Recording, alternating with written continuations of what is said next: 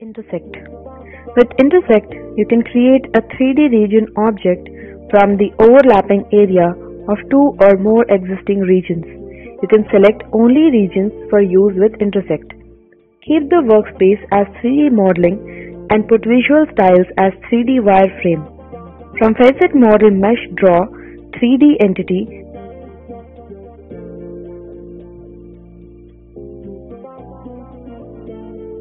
and select intersect command.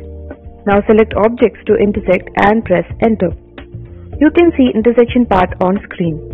Again, I am taking two 3D entities box and sphere.